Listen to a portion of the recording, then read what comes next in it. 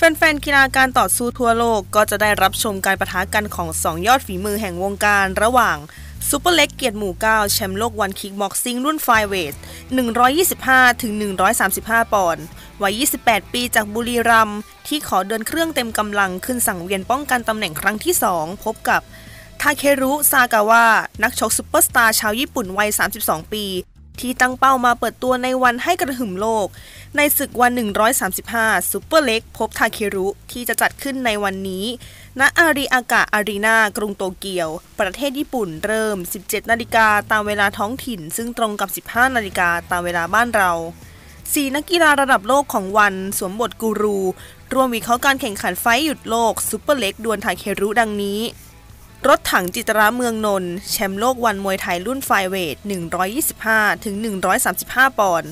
สำหรับคู่นี้มองว่าซูเปอร์เล็กเสียเปรียบในด้านความเร็ว และความคุ้นชินในกติกาคิกบ็อกซิ่ง แต่ได้เปรียบในเรื่องความทนทานลูกหนัก แต่ที่สำคัญคือซูเปอร์เล็กจะประมาททาเครุไม่ได้เด็ดขาด เพราะเขาออกหมัดได้เร็วและหนัก ในทางกลับกันทาเครุก็จะประมาทลูกเตะก้านคอหรือเข่าลอยของซูเปอร์เล็กไม่ได้เช่นกัน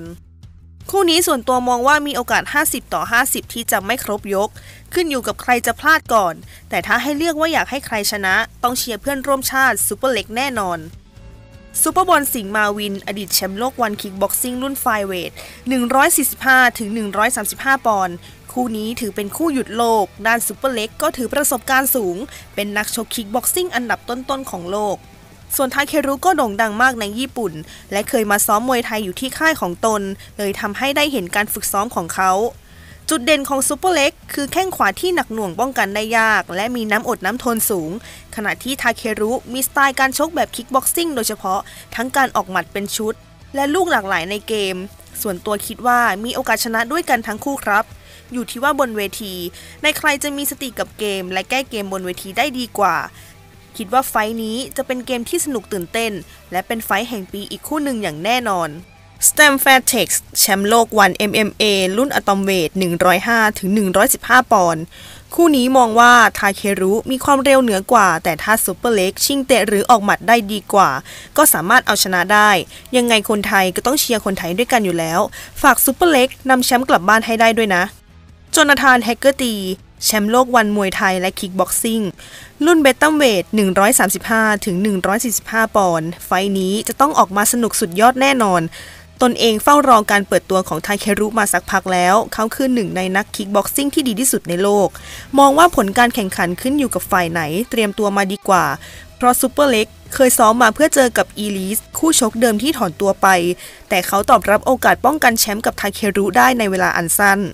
คำถามคือ เขาพร้อมสำหรับสไตล์การชกของทาเครุมากแค่ไหน และเขาเตรียมพร้อม และซ้อมหนักมากแค่ไหน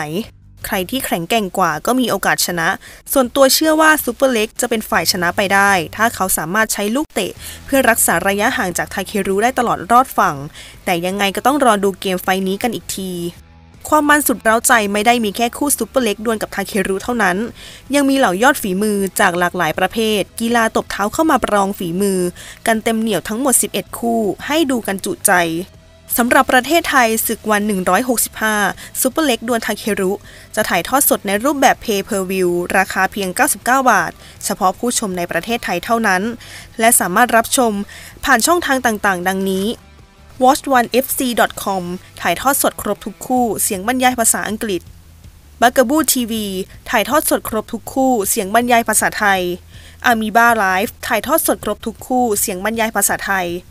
และ Facebook One Championship Thailand และ YouTube One Championship บางประเทศ รับชมฟรีไม่มีค่าใช้จ่ายเฉพาะคู่ที่ 1-4 เท่านั้น